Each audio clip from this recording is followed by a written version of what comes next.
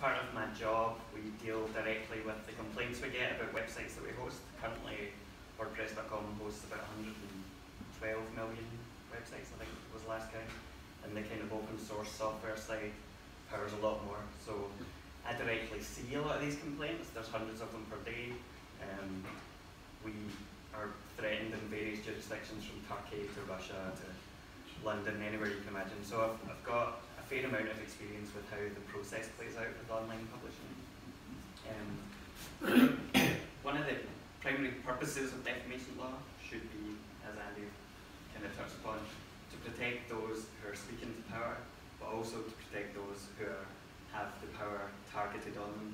Uh, so for example, we get a lot of companies who are alleging defamation simply by consumers saying this business took my money, and didn't provide a service on their personal blog, and all of a sudden they get hit with lawyers' letters, etc., and then they come after the platform.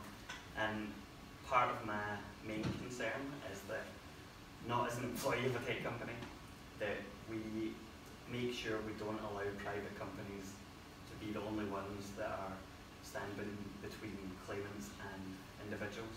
So basically, rather than leaving people's freedom of expression up to the private companies. We need the law to protect that as well. Um, I think that on that basis, uh, Scots law is badly needed need of reform. A lot of it is uh, common law based, which is fine if you're a newspaper and you've got legal teams. But as the internet has kind of democratized publishing and every individual has a blog or a Facebook post or whatever, it's much more difficult for average people to be able to make sense of what the defamation laws are and what they could be liable for, um, especially now as actions up.